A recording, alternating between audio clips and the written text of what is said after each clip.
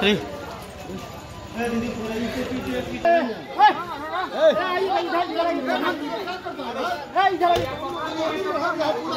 हो गया है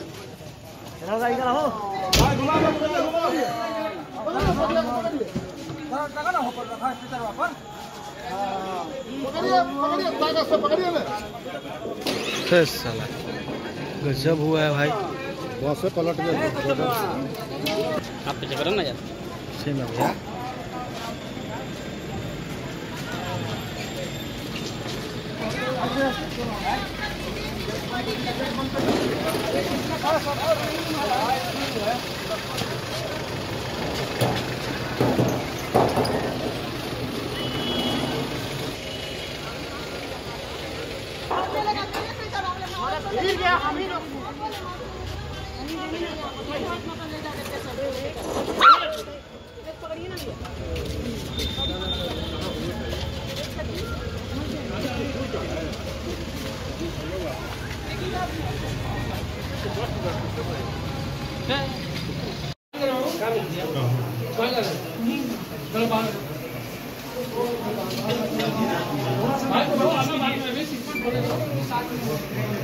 और कोई बात नहीं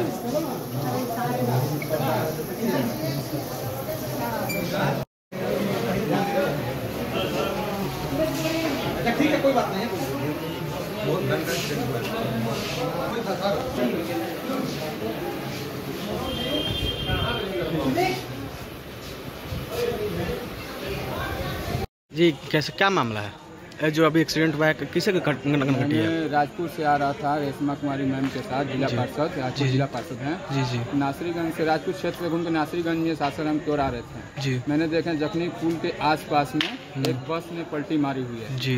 जिसने देखा कि बहुत सारा एक्सीडेंटर है लोग उसमें किसी का पैर नहीं है तो किसी का सर में चोट है तो किसी का हाथ में फटा हुआ है। हम्म, तो मैंने तीन को अपने गाड़ी में बैठाया स्कॉर्पियो में जिला पार्षद की गाड़ी में। हम्म, बाकी लोगों को एंबुलेंस को फ़ोन किया गया 112 को फ़ोन किया गया। हम्म। एंबुलेंस आया। आगे तो हम लोग लेकर चले गए फिर उसके बाद एंबुलेंस आया। एंबुलेंस में मिलाद के लाया और लोग भी वहाँ पे घायल पड़े कितने लोग घायल हैं पूरे? चालीस पचास होंगे। सबसे ज़्यादा चोट कितने लोगों को लगा सबसे ज़्यादा? सीरियस था उस लोग को हम लोग बैठा के अपने गाड़ी में लगभग कितने लोग थे उन लोग? तीन को तो हम लेकर आए हैं बाकी एंबुलेंस में आया। अच्छा। किसी का मौत हुआ कि नहीं अभी तक? मौत के बारे में मुझे जानकारी नहीं है। अच्छा। बस कहाँ से कहाँ जा रही थी? बस के बारे में मुझे जानकारी नहीं सासाराम की ओर से बस आ रही थी। अच्छा। मैंने देखा नोखा की ओर जा रही थी हम्म। उस बस ने उधर ही पलटी मारा हुआ था। क्या नाम है आपका? छोटू सिंह। ठीक। कहाँ घर है? हाँ? क्या हुआ बाबू? बस पलटी हो गया। कहाँ पर? नाम नहीं जानते हम लोग इधर से जा रहे थे।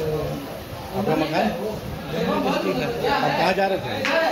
पटनारा जा रहे थे। आगे जा रहे थे? वहाँ से ट्रेन पकड़ते। थे क्या नाम आपका? पर्वत कुमार सिंह।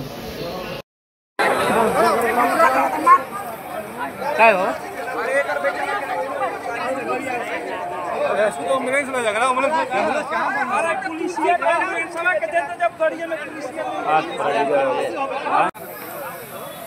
वो अब